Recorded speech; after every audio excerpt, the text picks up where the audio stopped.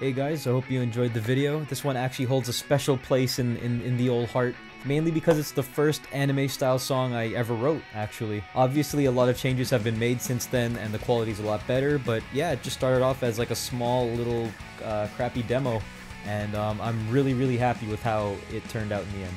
If you're wondering why the audio quality sounded so good this time around, it was because it was mixed and mastered by your boy 16 in Mono. I don't know if I'm to put the link here or down here, I don't know where it is, but uh, he makes amazing originals and covers all in that same awesome quality, so please check out his channel, give him a sub if you liked it, and give him a little hashtag cicada swarm, you, you know what to do. And as usual guys, if you want to see more stuff like this every single Saturday, be sure to hit subscribe down below. I also have a Patreon which helps keep this channel self-sustained and potentially make it a full-time job in the future, so check it out if you want. Every dollar counts and you do get rewards in return for signing up. So yeah, I also have a Twitch and a Twitter if you want to check me out there. We talk about games, we play games, we hang out. Sometimes I play guitar on stream and do requests, even though they're probably never that great. But people have fun, I have fun, so it's a good time. So just come along if you want. And to end it off, there will be a lot more content coming, but I'm pretty sure that was obvious. I hope you guys look forward to all of the originals and little ideas that I'm trying out here and there. So yeah, just look forward to whatever happens. Um, I'm very excited. Uh,